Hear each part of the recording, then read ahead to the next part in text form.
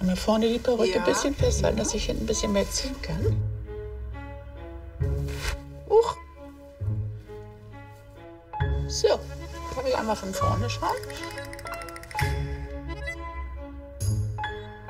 Und da entdeckte ich sie dann im Publikum und guckte sie so an und dachte, um Gottes Willen, die Frau, die sieht wirklich aus wie Angela Merkel.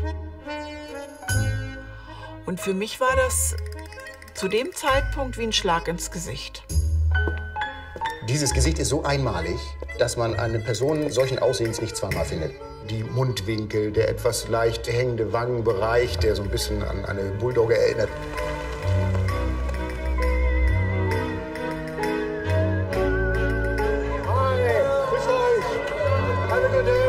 Wenn wir Menschen sagen, dass ich spreche wie Bill Clinton, dass ich mich bewege wie Bill Clinton, dann sind das so Parallelen.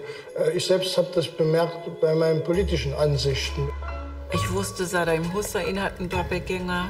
Also sozusagen, man arbeitet im Auftrag des Originals.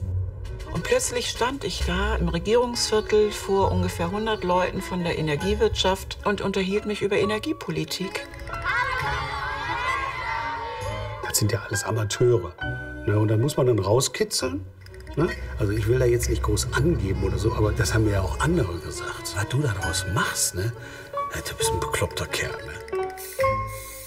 Es gab immer wieder Menschen, die wollten Autogramme von mir haben. Ich glaube, ich habe manchmal auch eine Kreditkartenrechnung mit, mit Clinton unterschrieben. Okay, Bill, let's go.